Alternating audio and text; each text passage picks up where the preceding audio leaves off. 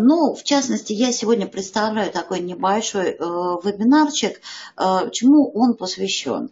В общем-то, в нашем центре читается очень большое количество курсов, в том числе по программам семейства 1С, и, естественно, у нас есть курсы для расчетчиков, для кадровиков. Ну и мы э, пришли к выводу, что, в общем-то, необходимо э, сделать такой небольшой отдельный курс, посвященный настройкам отчетов. Э, настройкам отчетов в редакции 3.0, то есть вот с 9 ноября в нашем центре как раз и запускается новый курс, новый курс, который называется «Работа с отчетами в программе зарплаты управления персоналом». Собственно, я представлюсь, я автор курса, я преподаватель 1С э, в Центре э, компьютерного обучения и э, в том числе имею статус преподавателя ЦСО по зарплате управления персоналом, именно третья редакция. Цель курса, который э, мы, собственно, вот э, запускаем, это изучение возможности настройки и создания собственных вариантов отчетов. То бишь, фактически, фактически у нас с вами получается э, какая постановка вопроса? Ну, все мы потихонечку с вами переходим на редакцию 3.0. Кто-то чуть раньше, кто-то чуть позже. Э, в общем-то, здесь э, очень многое, особенно с точки зрения кадрового учета, э, в документообороте добавлено того, что мы очень давно просили у разработчиков, то есть в частности третья редакция умеет делать дополнительное соглашение к трудовому договору, третья редакция умеет делать, скажем, те же документы по, а, точнее, приказа о работе в праздничные дни. Она умеет делать э, то, что не умела делать редакция 2.5. Но с другой стороны, с другой стороны, э, возникает вопрос отчетов. Что касается отчетов, в программе, в программе зарплата управления персоналом, третья редакция. Отчеты сгруппированы в первую очередь по разделам. То есть, в частности, в частности, вот э, если мы заглянем с вами в раздел «Главное», то э, во втором столбце, посмотрите, там есть отдельно кадровые отчеты, э, есть отдельно отчеты по зарплате, по выплатам. То есть, в разделе «Главное» сгруппированы вот основные варианты отчетов. А, кроме того, у нас с вами для каждого раздела, то есть если я зайду в кадры, там есть кадровые отчеты. Если я дойду, зайду в раздел зарплаты, есть отчеты по зарплате. И, э, в общем-то, естественно, когда речь идет о типовой конфигурации, то какие-то моменты нас с вами не устроят. Ну вот, в частности, те же кадровые отчеты, которые предусмотрены заранее разработчиком. А, и если мы с вами посмотрим на типовой э, список кадровых отчетов, ну такая вот конкретно стандартная головная боль. А, у нас с вами есть табель учета рабочего времени, унифицированная форма Т-13, а в кадровых отчетах по умолчанию – его не предусмотрено. То есть получается, с одной стороны, если у меня полные права, я могу великолепно бегать в раздел зарплата, в отчеты по зарплате, потому что по умолчанию в типовой конфигурации табель находится именно там. Ну, как-то симпатично, но не очень. А тогда возникнет э, резонный вопрос, а если вдруг я как пользователь ограничена в правах, у меня, например, роль кадровик, я вообще тогда не буду видеть раздел зарплата. Ведь в программе правами регулируется в том числе доступ сотрудника к тому или иному разделу. И что же получается? Я тогда как кадровик табель, отчет, табель учета рабочего времени по форме Т-13 не могу сформировать. Поэтому, в общем-то, вот на э, нашем курсе первое, что будет рассматриваться, это, конечно, вот стандартно курс, уточню, построен от простого к сложному. Первое, что будет рассматриваться, это, э, конечно же, типовые настройки, которые мы с вами можем делать по отчетам. Э, в частности, в частности, неважно, что вынесено разработчиком, мы можем с вами вносить любые изменения. Например, каким образом? Э, в отчетах внизу есть ссылочка «Все отчеты». Открывается список кадровых, э, список всех отчетов программы. Э, при этом, при этом слева посмотрите разделы, то есть можно выделить раздел или подраздел и увидеть нужный отчет. А если мы в левой панели выделим все разделы, то увидим абсолютно все. Ну так вот, если я выберу табель учета рабочего времени и нажму кнопку «Изменить», то мне программа даст возможность определить, а в каком еще дополнительно разделе я хочу разместить этот отчет. Я, например, хочу его разместить в кадрах, то есть ставится флажок, либо вот э, можно у названия раздела тогда э, попадет в кадры, но непосредственно программа определит сама, где он будет находиться. Или я могу сказать, что, например, мне нужно штатное расписание под раздел. Ну и, собственно, остается только записать «Закрыть». Если теперь э, мы с вами заглянем в раздел «Кадры», «Кадровые отчеты», то уже, уже вот в подразделе «Штатное расписание», посмотрите, появился табель учета рабочего времени. Ага. Нет, ну вообще на самом деле, смотрите, вот в кадровых отчетах, в зарплате, если заходим в отчеты по зарплате, левый нижний угол всегда есть ссылка «Все отчеты». Ага. И просто любой отчет выделяем, нажимаем кнопку «Изменить». Кстати, то же самое можно делать через правую клавишу мышки. Вот кнопку «Изменить» и определяем, в каком разделе будет размещаться тот или иной отчет. Э, кнопка «Изменить», кстати, вот она чем хороша. Можно определить, отчет этот будет доступен только для автора или по всем пользователям. Да, и э, можем так, можем так. Э, кроме того, кроме того, вот что еще нам с вами позволяет делать программа? Что еще нам с вами позволяет делать программа. А, если вы посмотрите во всех разделах, во всех разделах, у нас с вами и в кадровых отчетах, и в отчетах по зарплате, и в отчетах по выплатах присутствует, э, в частности, такая э, вещь, как кнопка «Настройка». Кнопка «Настройка» она располагается в правом верхнем углу.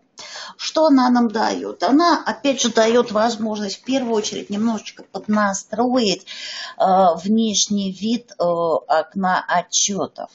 Ну, по умолчанию для удобства пользователя каждому отчету выводится краткое описание.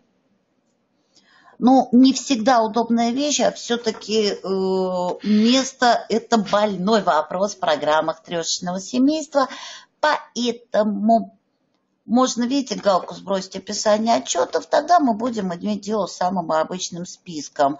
Может быть, не так красиво, зато компактно. Да. А, ну, включить-выключить, опять же, можно в любой момент. А, опять же, есть какие-то отчеты, которыми мы с вами пользуемся регулярно.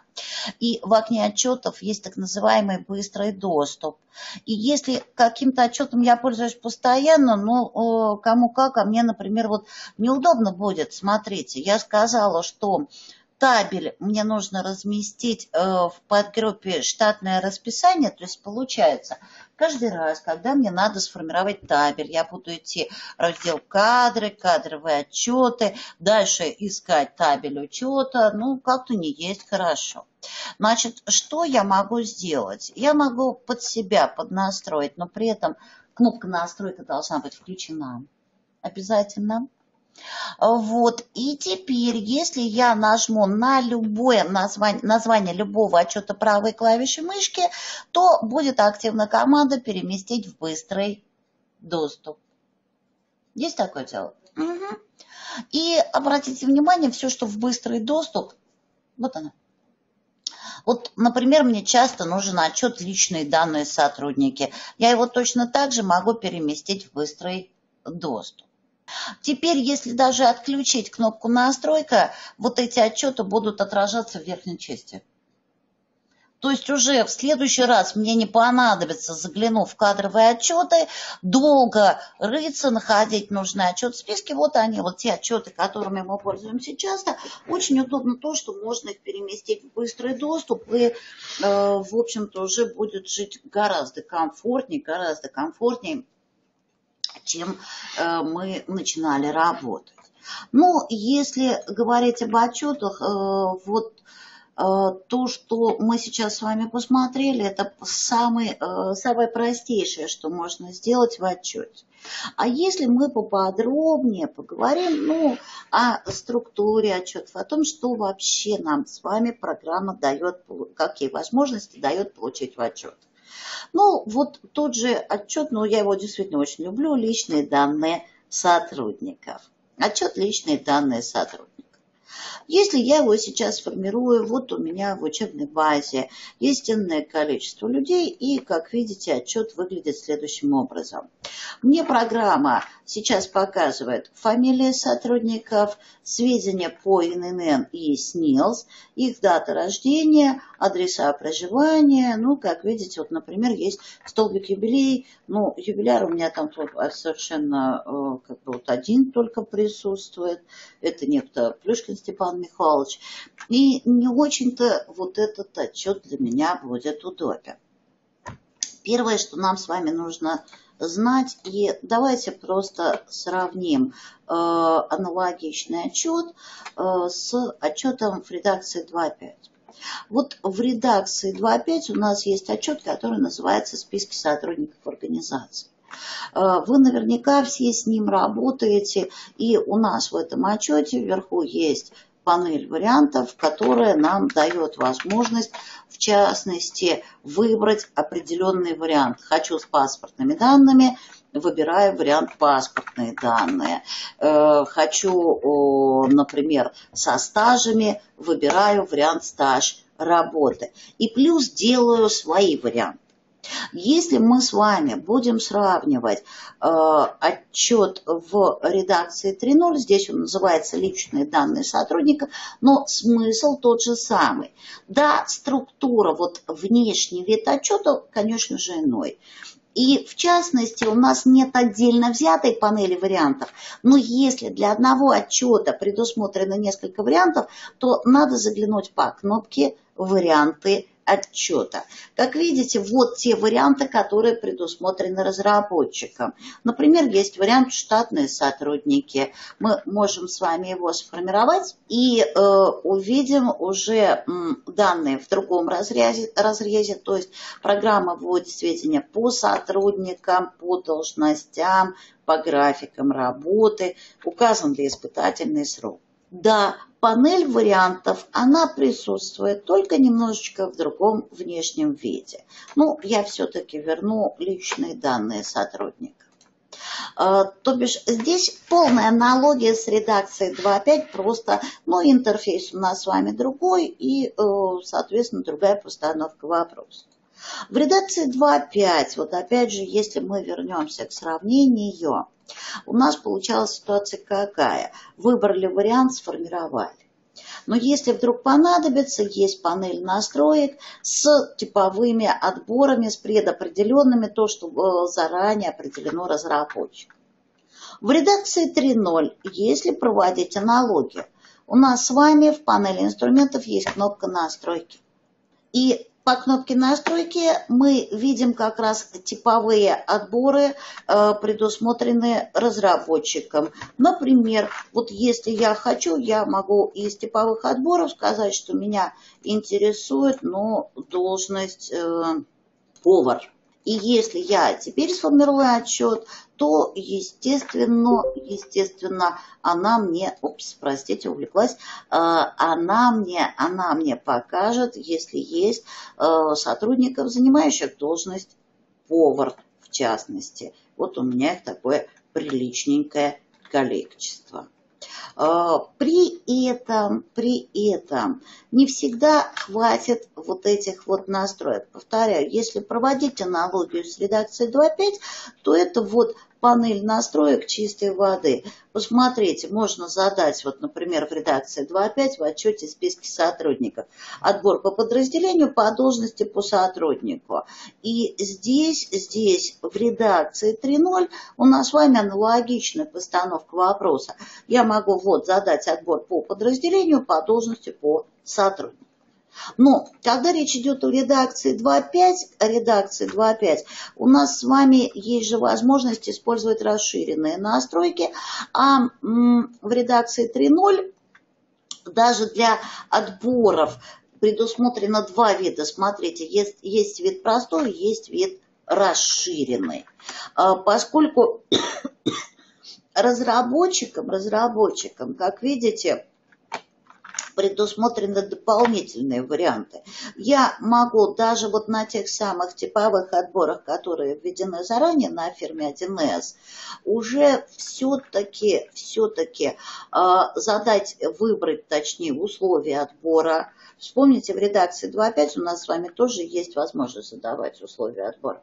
Да есть, есть. Только для этого, для этого придется ни много ни мало в редакции 2.5 отправиться непосредственно в настройку вариантов отчета, сказать, что нужна настройка структуры, заглянуть на закладку «Отбор», и уже там я смогу выбрать какой-то параметр отбора, добавить его, добавить какой-то э, какой вариант сравнения или вот как в трешке теперь условие. А здесь, как видите, для предопределенных видов отбора я могу просто внести изменения. Например, я хочу, чтобы сотрудник был не в списке, а строго э, конкретного сотрудника можно было значение указывать. А для этого я могу сказать, что условие равно. Но здесь же я как раз могу добавить новый отбор, новый отбор. Например, я еще хочу отбор, я хочу еще отбор, в частности, по виду образования. По виду образования. Ради Бога, я могу добавить такой отбор, я могу добавить отбор, ну, э, в нашем конкретном случае, э, скажем, когда речь идет об отборах, не только по виду образования, по квалификации, э, по профессии. Здесь что нужно иметь в виду? Вот э, мы все равно ограничены разработчиком. Вот поля, поля, которые мы с вами можем использовать, естественно, они определены заранее разработчиком. И если вы посмотрите, вот в расширенных настройках есть отдельно закладочка поля и сортировки. Вот она сейчас показывает, что у меня сортировка по умолчанию стоит по физлицу по возрастанию. Есть закладочка оформления, внешний вид отчета. Есть закладка структур. Но вот этот вариант, э, соответственно, нам с вами дает возможность подкорректировать отчет, но в весьма-весьма минимальном объеме, я бы сказала. То есть, да, конечно, ну, подумаешь, там я какой-то отбор добавила. Ну и что? Ну, подумаешь, я изменила условия. Но зачастую нам с вами этого будет недостаточно. Тогда, что мы еще можем сделать. А, вот э, аналогичная, аналогичная функция у нас э, с вами была и, собственно, пока еще есть в редакции 2.5. Это когда мы просто через э, настройку вариантов отчета создавали какой-то свой вариант.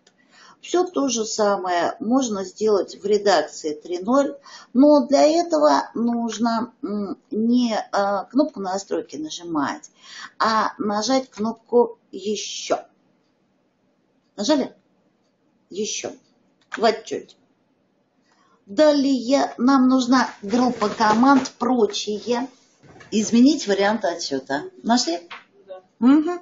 Да, просто э, присутствует эта возможность, она спрятана. Здесь, кстати, обратите внимание, еще можно стандартные настройки, если что, выбрать. Но нам интересен вариант изменить э, вариант расчета. Открыли? Да. Вот, собственно, э, чем мы с вами можем заниматься, когда речь идет об отчете. Да, если проводить аналогию, Похожий вариант был в редакции 2.5. Это когда открывалось окошко настройки структуры, и в нижней части настройки ставилась галочка «Расширенная настройка». Да, некая аналогия. А, вот мы с вами можем что сделать? Мы можем с вами а, подкорректировать существующий отчет, и мы можем добавить с вами какие-то поля, элементы. Обратите внимание, кстати, вот если вы в окне изменения варианта нажмете кнопку «Добавить», вы увидите, какие э, варианты предусмотрены. То есть, в частности, я могу добавить новую таблицу, новую диаграмму, новый вложенный отчет. Для э, отчета вот в верхней части, вот очень важно, у нас отражается структура. И э, вот если я выделю отчет – Справа есть пиктограммки, которые дают возможность быстро переходить по закладкам. То бишь я могу поступить каким образом? Выделяю нужную часть структуры и буду перемещаться по закладкам, по закладкам ручками. Либо э, в нижней панели, либо я э, буду что делать? Я выделяю нужную часть структуры и по этим закладкам перемещаюсь, перемещаюсь, просто щелкнув по соответствующей пиктограммке. Как видите, меня программа перенаправляет на э, соответствующий заклад. Вот э, что можно делать здесь и э, чем мы будем э, заниматься на курсе, помимо, э, да, вот работа с элементарными настройками, хотя на самом деле их надо знать в обязательном порядке. Во многих случаях это э, нам с вами э, будет необходимо. Вот что мне сейчас э, выводит программа в отчете. Она мне выводит сведения о сотруднике, его ИНН, СНИЛС и прочее. А если меня вот такой вариант отчета не устраивает, например, мне абсолютно не нужны ИНН и СНИЛС, тем более, если честно, у меня в учебной базе э, у одного человека только они введены.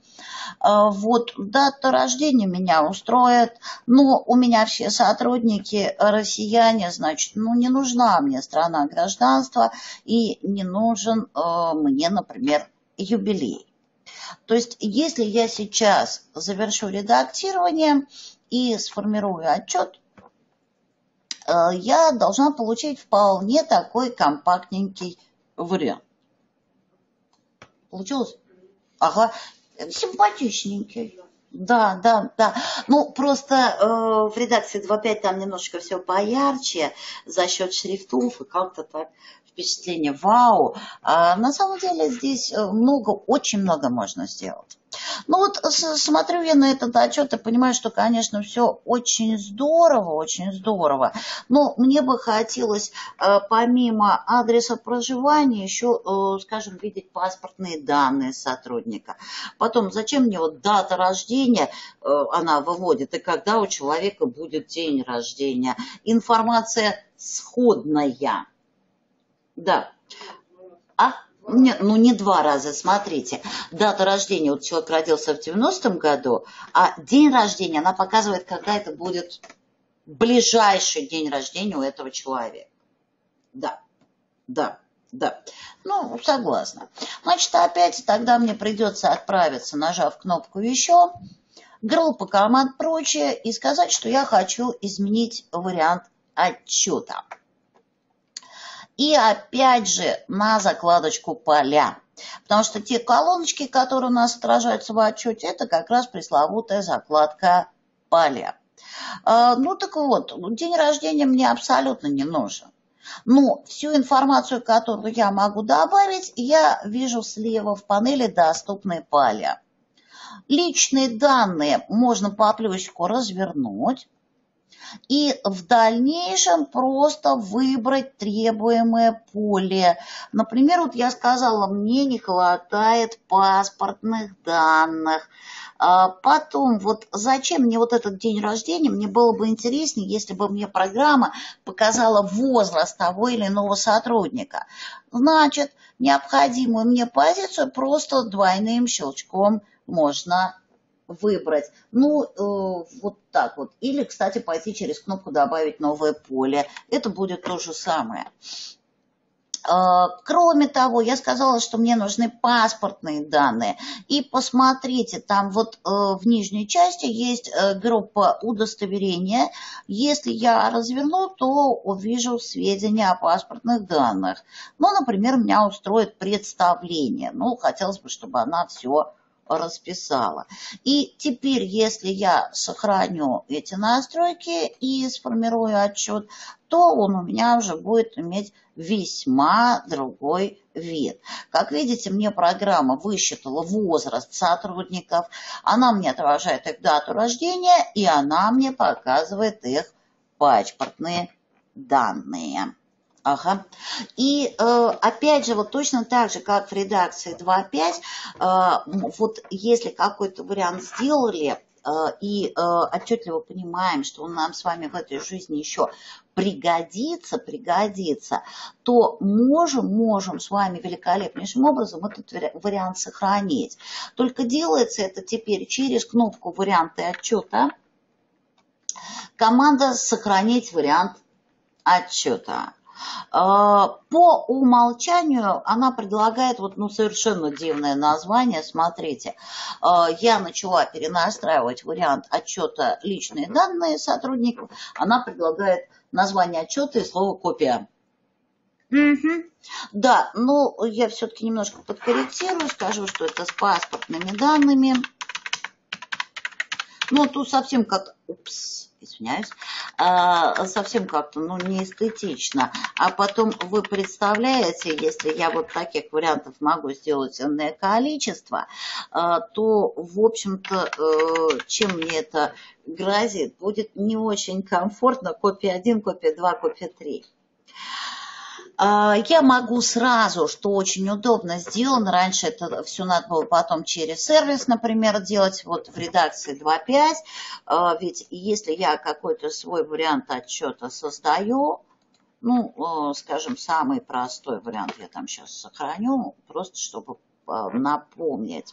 Значит, если я какой-то вариант свой делаю, ну, скажем, тест, вариант тест, то в дальнейшем, в дальнейшем определить доступ сотрудников и прочее, прочее, мне нужно идти в сервис, открывать, в частности, настройки отчетов, находить там этот свой э, вариант, тест, и э, дальше его открывать и определять, для какого пользователя он будет доступен. Ну, то есть это получается достаточно э, громоздко, много действий делать.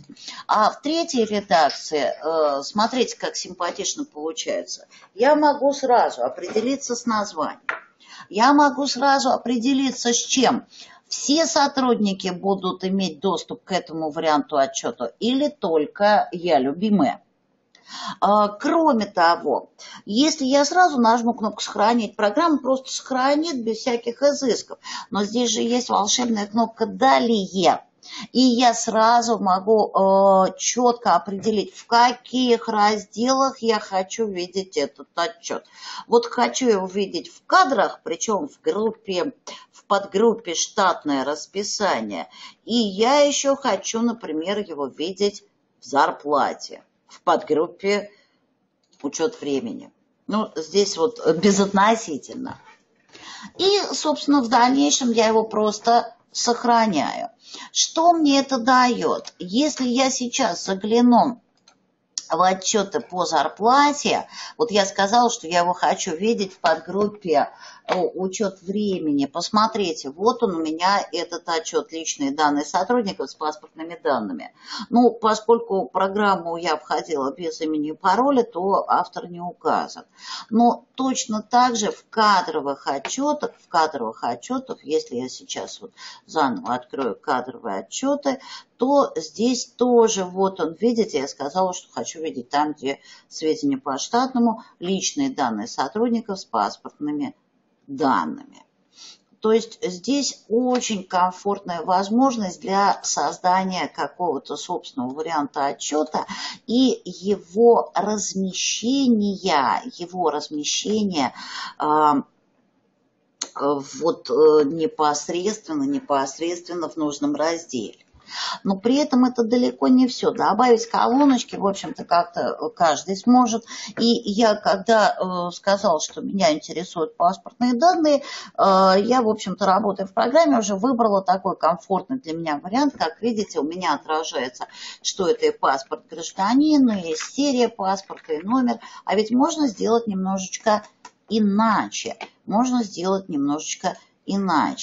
В частности, в частности, я могу точно так же, нажав кнопку «Еще», прочее, сказать, что хочу изменить вариант отчета. Заглянуть на закладку «Поля» и выбрать не представление, не представление, представление вообще отсюда удалю, а в личных данных, ведь удостоверение э, группа объектов. Мне никто не мешает просто заглянуть и по удостоверению сделать двойной щелчок. Ну, правда, сейчас вот если я в таком виде оставлю, честно говоря, это будет... Да, да, да, да, да. Э, это получится абсолютно верно. Это получится не отчет, это будет кошмар всей моей жизни. Потому что она, смотрите, как все разносит. Удостоверение, период регистрации, представление, вид удостоверения. Ну, как-то, ну, совсем очень получается громоздко. Очень. Но мы сейчас его легко приведем в божеский вид. То есть, в частности, э, опять же, изменяем вариант отчета изменяем вариант отчета. Так, я заодно просто отбор отключу, я показывала. И, ага, а, вот не нужны мне все поля, которые предлагает программа. Значит, я их убираю. Мне не нужен код МФТ, мне не нужно представление, а вот вид, э, паспорт гражданина Российской Федерации, да, дата выдачи, кем выдан – код подразделения, номер серия. Но у нас с вами, э, еще скажем, мне не нужен срок действия. Ну, не нужен. А, вот теперь, по крайней мере, он получится уже так немножко посимпатичнее, но все равно не то. Вы обратите внимание, что получается. А, заголовки столбцов, но, мягко говоря, позорные. Видите, она пишет удостоверение вид, удостоверение дата. Да ужас какой-то. Э, хотелось бы, чтобы это как-то называлось нормально. Что можно сделать? Можно опять же отправиться в изменение варианта отчета. И если нас с вами заголовок столбика не устраивает, то сделать, э, поменять название, указать какое-то свое, можно элементарно через правую клавишу мышки. То есть, если нажимаешь на позицию правой клавиши мыши, там есть команда «Установить заголовок». И, наверное, будет практичнее, если я просто-напросто для своих полей оставлю типовые названия, но уберу слово «удостоверение». Служебное поле останется как есть, а у меня заголовочки столбиков на этот раз уже должны выглядеть абсолютно при, привычным образом для любого человека. Ведь если э, мой руководитель, например, не работает в 1С, это не значит, что он должен сидеть и вот гадать, а что же имелось в виду в том под заголовком того или иного столбца. Служебные поля могут не отражаться, и посмотрите, насколько вот симпатичней становится мой отчетик. То есть у меня теперь есть столбец удостоверения, в котором показано, когда э, был зарегистрирован правильно, какой вид, дата выдачи, кем выдан и так далее. То есть уже как-то посимпатичнее. Что еще можно сделать вот именно с точки зрения работы над отчетом. На самом деле возможности у программы колоссальные. Ну вот э, в частности, в частности, обратите внимание, ну, я вот взяла типовой вариант, вот удостоверение, но мне же никто не мешал здесь какой-то свой заголовочек установить, например, сказать, что это у меня паспортные данные, паспортные данные, э, ради бога, это мое личное дело, ну, еще период регистрации, например, уберу, просто чтобы было покомпактней. И посмотрите, что получается. У меня заголовочек, вот они, паспортные данные, вот он вид паспорта, дата выдачи, кем выдан, код подразделения, серия, в общем-то, очень даже ничего. Но вот еще у меня есть два поля, например, есть поле даты рождения, есть возраст, и как-то они находятся далековато друг от друга, и вообще мне не нравится. Что я могу сделать? Я могу точно так же отправиться в изменение варианта отчета а, и определиться с этими полями. Ну, в первую очередь, если я хочу поменять местоположение поля, ну, здесь стандартный абсолютно вариант, просто перетаскивается мышь. И э, в этом случае э, вот уже у меня табличка будет выглядеть как-то вот таким вот образом. Ну, если мне понадобится, я ведь могу любые поля объединять по тому же принципу, как вот когда я воспользовалась готовыми паспортными данными. А, для этого, для этого, опять же, в изменении варианта отчета, в изменении варианта отчета, а, что от меня требуется сделать? Мне надо выделить те поля, которые я хочу объединить. Ну, например, я хочу э, дату рождения и возраст. Просто выделяется стандартно при нажатой клавишей Ctrl. Ctrl удержать, конечно, и мышкой щелкать. То есть я выделяю нужные поля и нажимаю, вот она кнопочка, смотрите, сгруппировать поля. Сгруппировать поля. Вот она. Если у меня возникнет такая необходимость, вот я могу воспользоваться этой кнопкой. А, кстати, точно так же это можно сделать через правую клавишу мыши. Сейчас, ну, надо дать ей подумать. Да, есть такое дело в нашей жизни.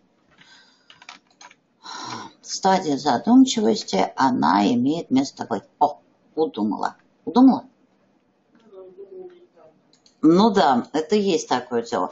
Э, ну, назвать, э, например, э, каким образом, э, скажем, это информация о возрасте, ну, опять же, здесь название может быть абсолютно произвольное. Вот. И, э, собственно, теперь, если я сформирую отчет, то уже получится абсолютно другой вариант. Вот, смотрите, информация, вот у меня дата рождения и возраст. Увидели? Причем вот обратите внимание, здесь очень много на самом деле возможностей для э, пользователя. То есть, в частности, я же могу выбрать, как будет располагаться у меня группа там горизонтально, вертикально, в отдельной колонке. Если меня все-таки этот вариант не устраивает, я всегда могу разгруппировать э, поля. Опять же, э, для того, чтобы, в общем-то, мне было комфортнее какой-то отчет сформировать. Но при этом, при этом, вы, наверное, обратили внимание, вот мне что не нравится визуально, ну, как-то заголовки, они все имеют выравнивание по левому краю. Угу, угу. Ну, как-то, ну, совсем некрасивенько. Значит, тогда я могу воспользоваться чем? А, есть закладочка, есть закладочка дополнительные настройки. Ну, здесь смотрите, самое простое, что можно сделать, это выбрать вообще макет оформления. Ну вот э, по умолчанию стоит черно-белый основной, но там можно провалиться и э, выбрать, например, море. Да, по-моему, симпатичненько. Как-то вот он даже читается легче, да? Не, ну как-то, ну уже на истину похоже. Да-да-да-да-да-да. А, да, Далее, то есть я могу вот таким образом пойти. Далее еще что можно сделать. Но здесь надо учитывать, что, в общем-то, настройки э, задаются для конкретных полей. Смотрите, можно определиться, как будут располагаться итоги, как будут располагаться реквизиты по горизонтали. Увидели? Да-да-да. Если диаграмма, если диаграмма, то, соответственно, опять же, как э, будут э, располагаться основные вообще параметры диаграммы. Заголовок. У нас же с вами каждый отчет имеет свой заголовочек. Вот он, личные данные сотрудники, сотрудников. Но это не факт, что меня устроит именно такой заголовок отчета. Что э, для нас с вами актуально. Вот если, если мы с вами хотим, то можем через э, дополнительные настройки определить в частности, э, как будут располагаться наши с вами поля. Вот они все да-да-да-да-да. Э, в частности, как будут располагаться итоги, как будут располагаться поля группировок, э, э, как будет у нас с вами общие итоги располагаться, какие типы заголовок полей. Все это уже можно определить, используя дополнительные настройки, и получим мы уже абсолютно другой вариант отчета но при этом я вот сейчас оставлю как есть, из каких соображений. Вот когда речь идет о каких-то отчетах, в общем-то, для нас с вами э, весьма актуальна такая банальная вещь, что э, когда мы хотим подредактировать отчет вручную. Да хотим, мало ли. Неважно по какой причине, в принудительном порядке хотим. Да. А что тогда мы с вами будем делать в этой жизни? Вот здесь, опять же, ничего особенного, просто немножечко убрать. Вот если мы с вами хотели в предыдущей редакции 2.5 подредактировать любой отчет, а, извините, э, то э, получалось, что требовалось сделать. Сначала открыть отчет, установить в любое место курсор. Только тогда в редакции 2.5 появлялся пункт меню таблица, вид редактирования. Да, и можно было уже писать все, что угодно. А как быть в редакции 3.0? Верите, нет, все то же самое. Только у нас с вами, ну вот опять же по аналогии с редакцией 2.5, пункт меню таблица появлялся где? В главном меню. Правильно же? Ага, а в редакции 3.0, напоминаю, главное меню присутствует, но оно спрятано вот где, левый верхний угол экрана. Есть такое дело? Конечно. Причем, если я э, не буду открывать какой-то отчет, вот посмотрите на мой экран, минуточку. Видите, тут нету пункта меню таблица. Угу. Если я вернусь в отчет, то у меня в главном меню появляется пункт меню таблица, дальше вид и дальше редактирование. Да, то есть ничего нового в этой жизни и можем легким движением руки мы с вами исправлять все, что угодно. И точно так же, как и э, в редакции 2.5, мы с вами, если возникнет необходимость, можем, например, через пункт меню таблица сохранить этот вариант отчета, можем с вами его сохранить в тот же Excel, можем с вами сохранить формат PDF. Э, то есть здесь опять же, опять же, нет никаких ограничений примеру, вот очень сильно мне захотелось вот это творчество сохранить в Excel. Неважно по каким причинам, но вот захотелось. Вот я теперь великолепным образом открываю Excel, вот он мой отчет. Причем обратите внимание, да, даже она подхватила форматирование. Прям, ну, красивенько, очень красивенько. Но в Excel никого учить работать не надо. А, по сути, по сути, да, э, разница между отчетами есть. Э, каких-то отчетов все-таки в настоящий момент в редакции 3.0 не хватает. В частности, это, например, касается э, отпусков. В редакции 2.5 великолепный вариант – это отчет по отпускам. А в редакции 3.0 у нас есть отдельно остатки отпусков, я могу посмотреть, и в редакции 3.0 я могу посмотреть отдельно фактически отпуска. Но э, благодаря вот возможностям настройки мне же никто не мешает сделать свой вариант отчета, в котором определиться, какие поля мне нужно выводить. И не только то, что предусмотрено разработчиком, но и то, что я хочу сама. И получу некий аналог. Вот, собственно, весь тот курс, о котором я упомянула в начале вебинара, как раз и будет посвящен э, непосредственно всевозможным настройкам и созданием собственных вариантов отчета, что немаловажно. А, и поскольку в этой программе работает у нас с вами не только кадровик, не только э, расчетчик, то есть э, здесь у нас с вами э, с программой сталкиваются и сотрудники подразделения отдела кадров, и бухгалтерии, администрации, то мы будем строить на курсе отчеты по, на основе отчетов разных разделов, то есть не только кадровых отчетов, но и на основе отчетов по зарплате.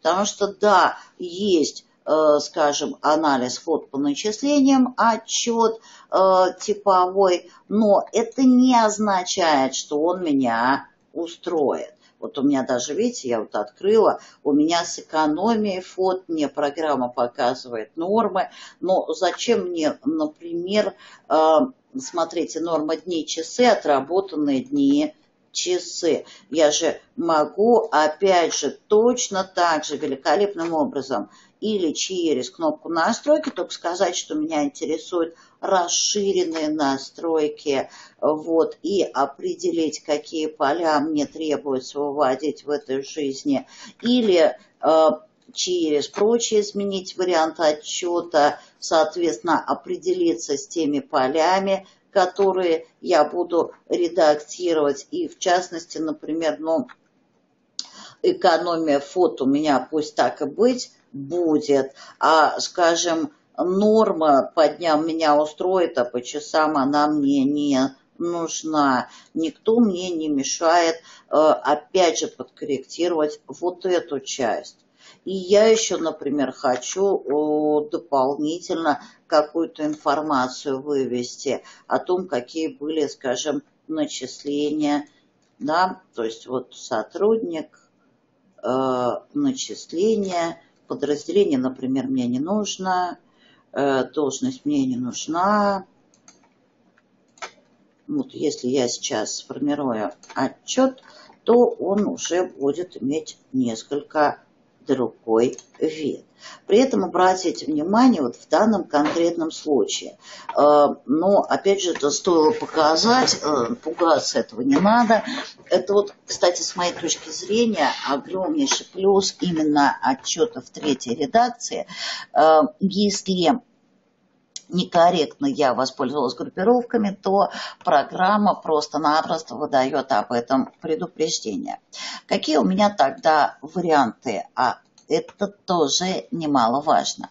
А, в первую очередь я могу просто-напросто вернуться обратно в поля и э, убрать э, вот то поле, которое я добавил, потому что я действительно сделала некорректно. Вот очень важно, когда выводится структура отчета, вот в верхней части, очень важно правильно э, установить курсор. Ведь в зависимости от того, какой я выбираю уровень структуры, программа мне и будет показывать э, варианты записей здесь очень важно поступить адекватно. Но если в предыдущей редакции можно было вот так вот случайно экспериментами, не обратив внимания, что выделено, э, добраться до ситуации, когда э, отчет просто кардинально отказывался формироваться, то здесь, как видите, она дает предупреждение раз.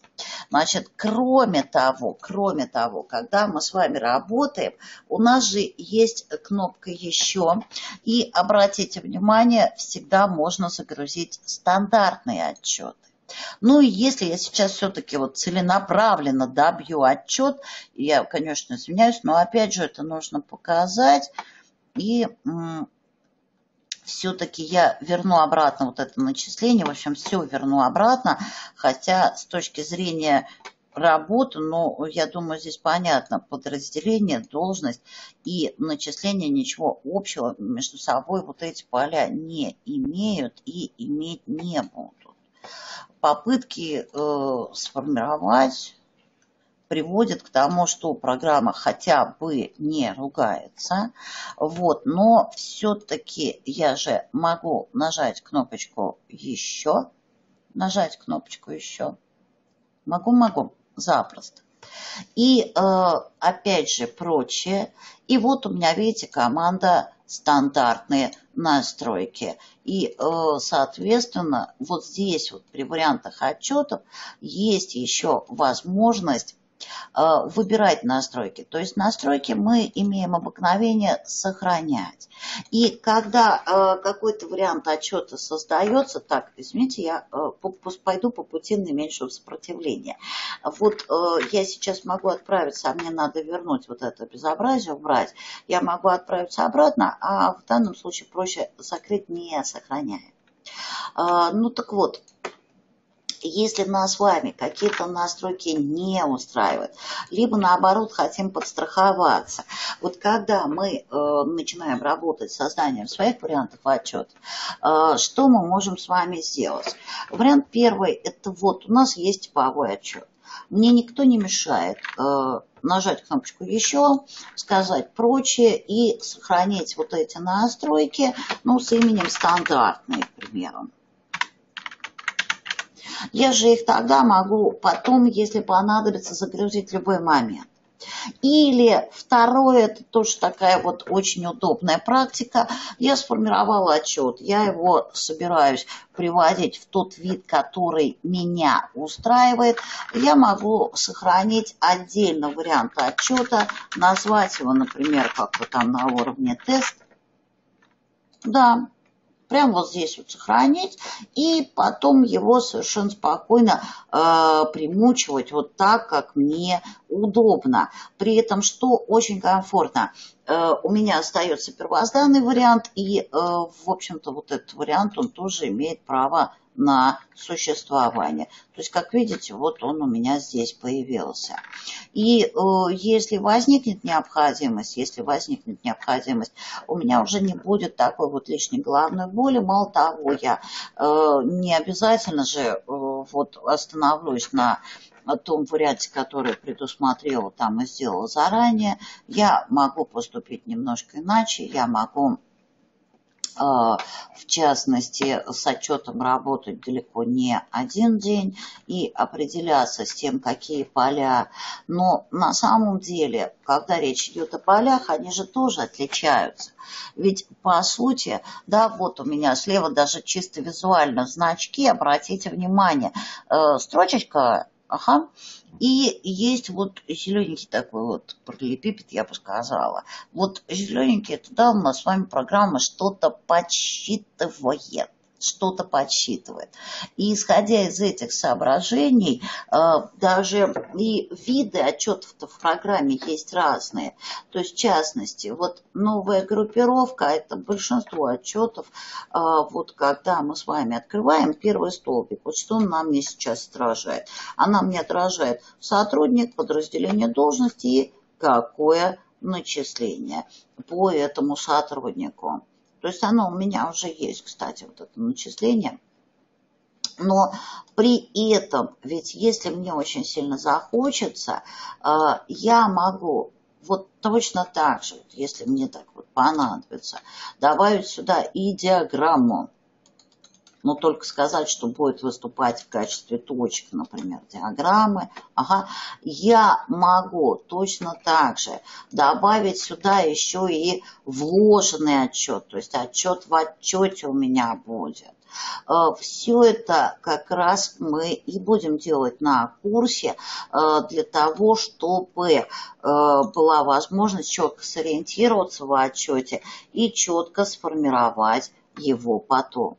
А, но исходя, исходя из тех соображений, как раз вот очень удобно для работы с каким-то вариантом, а, если мы хотим с вами его изменять, все-таки все-таки использовать непосредственную информацию, которую мы указываем. Ну, а в моем случае диаграмма вот э, абсолютно в данном случае не нужна. Если уж на то пошло, то э, никаких у меня вариантов здесь э, начислений просто не предусмотрено в том виде, как требуется. Но, опять же, если я очень сильно захочу, я могу сказать, что вот у меня есть диаграмма, что вот у меня есть какие-то поля, что, так, сейчас, для диаграммы, для диаграммы самое. Например, мне очень хочется там начислено рублей. Ну, честно говоря, это будет тихое сумасшествие. Вот. Но сейчас она подумает и покажет. Вот видите, начислено. То есть в данном случае, ну я просто сделала простейший вариант диаграммы. Ага.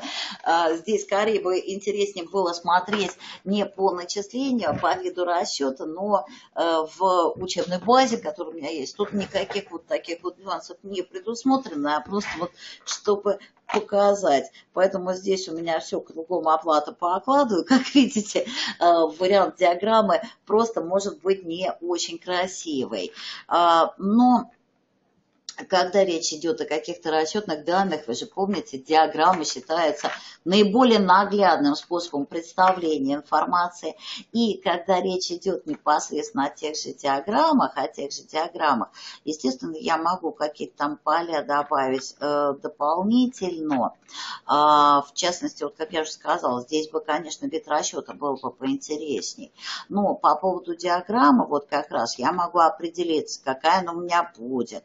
То есть вот все э, любят э, незабвенную там круговую диаграмму, а здесь вы посмотрите, какое количество видов диаграмм реально предусмотрено. То есть круговой, круговой, я, конечно, могу ограничиться, но как-то э, маловато этого будет при тех возможностях программы, которые заложены. Да, да, да, да. И все это великолепнейшим образом, как я уже сказала, настраивается. Ну, вот у нас э, в итоге будет такой небольшой курс, 8 часов, то есть вот э, курс в пределах одного дня в частности. Ну, вот э, то, что ждет в этой жизни. На этом мы остановимся. Э, в общем-то, э, я вкратце показала то, что нас с вами ждет.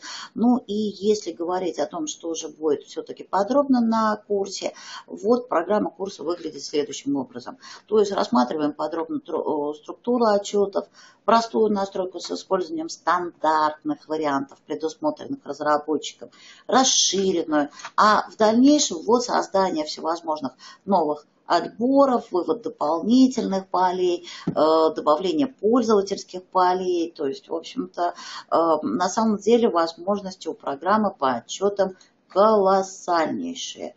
И мы с вами э, как раз этим и будем заниматься.